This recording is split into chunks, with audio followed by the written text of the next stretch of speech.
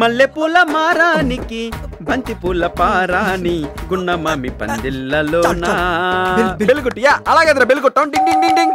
ఇలా కొట్టాలి. డింగ్ ding ding ding ding. ఎవరు? Wow madam what a beautiful face you have face మార్చకుండా శారీలు మార్చి డెబ్బై క్యారెక్టర్లు చేస్తా మీ చేత.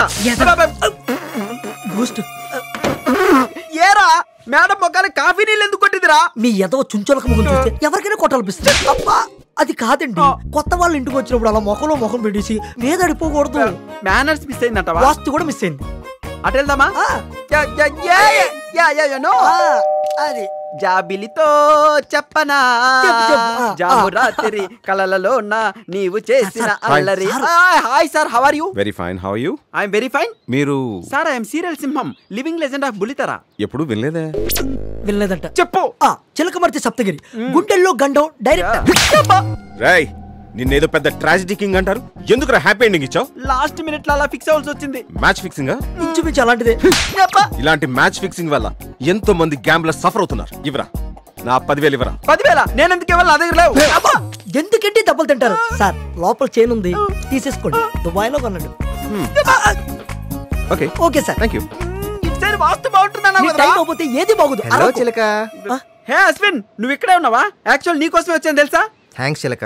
క్లైమాక్స్ మార్చినందుకు. క్లైమాక్స్ మార్చడం కాదు బ్రదర్.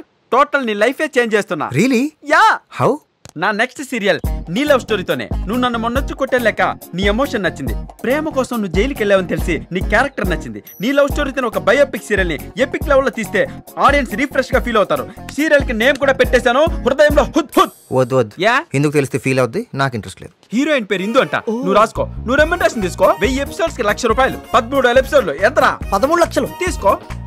ఓ నువ్వు ఫేస్ అలా పెట్టకు బ్రో ఒక్క సీన్ చెప్పి నేను ఇంప్రెస్ చేస్తాను చూడు. ఓపెన్ చేసిన వెంటనే హిందూ ముఖం మీద రెండు లీటర్ల యాసిడ్ పోసాం. కాళ్ళ. ఒక లీటర్ పెట్రోల్ పోసాం. కాళ్ళ. ఒక లీటర్ డీజిల్ పోసాం. కాళ్ళ.